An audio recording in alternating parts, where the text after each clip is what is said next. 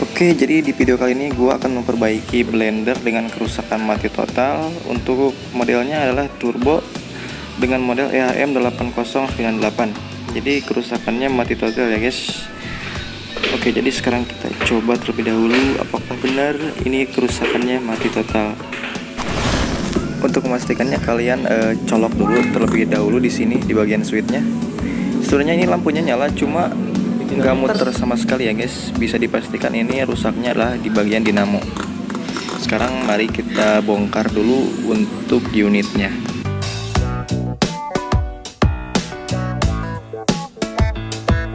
Nah kalian terlebih dahulu angkat dulu si bagian switchnya. Nah, kemungkinan switch ini e, masih bagus ya guys karena tadi si lampunya nyala tapi e, motornya nggak mau berputar. Jadi kita bongkar dulu si bagian motornya.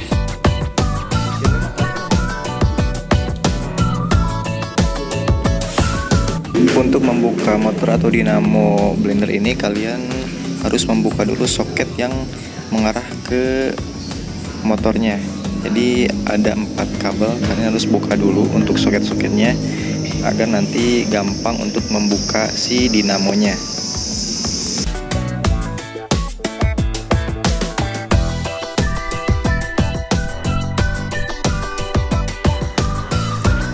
Nah oke okay, untuk cara membuka dinamo atau motor ini kalian e, wajib menggunakan tang dan juga obeng mins ya guys.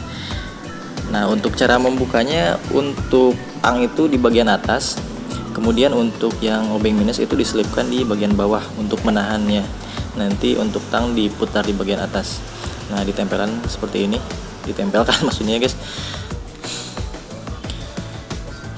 kemudian e, putar ke sebelah kanan ya guys. Jangan lupa ke sebelah kanan. E, searah jarum jam. Kalau misalkan di model biasa itu ke sebelah kiri ini ke sebelah kanan ya guys. Untuk membukanya ke sebelah kanan. Jangan lupa ke sebelah kanan. Kalian putar sampai e, si dinamo atau motornya itu lepas. Seperti ini. Setelah terlepas kemudian kalian angkat dan ini dinamo yang rusaknya guys ya. Kemudian kita siapkan dinamo yang baru. Nah untuk dinamo ini kalian bisa beli di toko di toko elektronik. Harganya itu sekitar 90 ribuan ya guys. Uh, lumayan murah sih untuk uh, dinamo seperti ini. Kemudian kalian pasangkan lagi seperti yang tadi ya guys ya.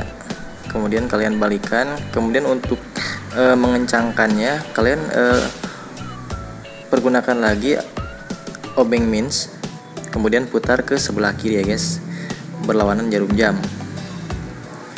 Ini harus dikencangkan ya guys. Kalian bisa menggunakan tang.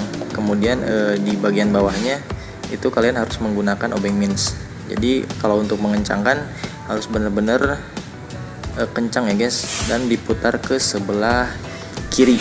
Jangan lupa ya guys untuk e, mengencangkan itu diputarnya ke sebelah kiri. Jadi seperti ini. Kita kencangkan terlebih dahulu. Nah oke. okay.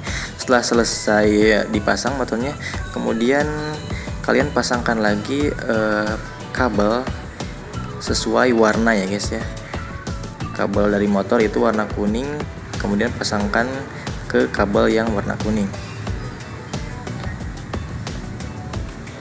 Kemudian untuk kabel yang hitam kalian pasangkan juga ke kabel yang warna hitam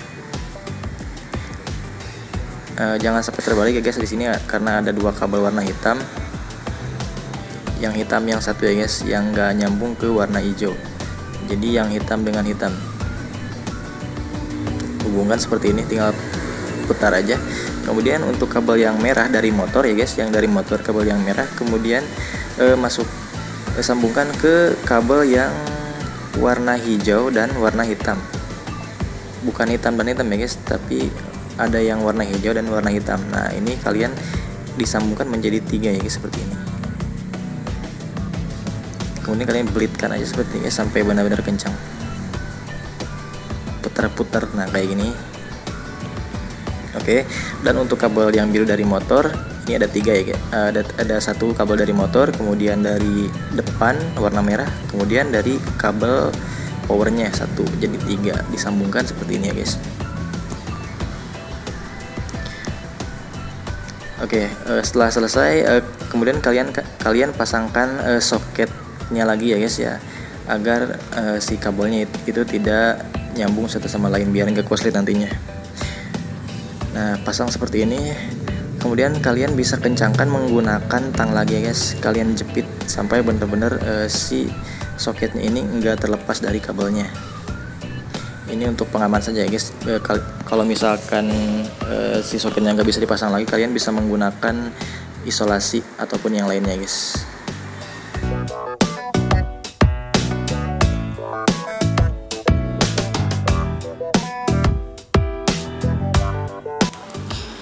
Oke, ini udah selesai guys, terpasang dengan rapi. Pastikan uh, yang nyambung itu kencang guys.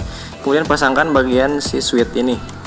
Jadi switchnya pasangkan seperti tadi ya guys, di sebelah kiri. Kalau dari saya itu sebelah kiri, kalau dari teman-teman sebelah kanan. Pasangkan seperti ini ya guys ya. Jadi switchnya nyengklek seperti ini. Jadi nantinya kalau ditekan dari atas itu uh, switchnya bakal tersambung. Jadi motornya bakal nyala. Oke, jadi kita rapikan terlebih dahulu ya guys. Jangan sampai terbelit seperti ini nanti uh, akan terhalang oleh tutup. Jadi akan sulit untuk menutup si bagian cover belakangnya. Oke, mungkin uh, segini ya guys ya untuk kerapiannya seperti yang tadi sebelum dibuka. Jadi sebelum kita tutup dengan covernya kita wajib untuk coba dulu. Jadi kita coba dulu ya guys, uh, apakah ini motor ini udah nyala atau belum kita cobain dulu colokin dulu sekarang kita cobain nah untuk mencobanya kalian harus uh, mengangkat soket ini ya guys eh mengangkat switch ini ke atas kemudian putar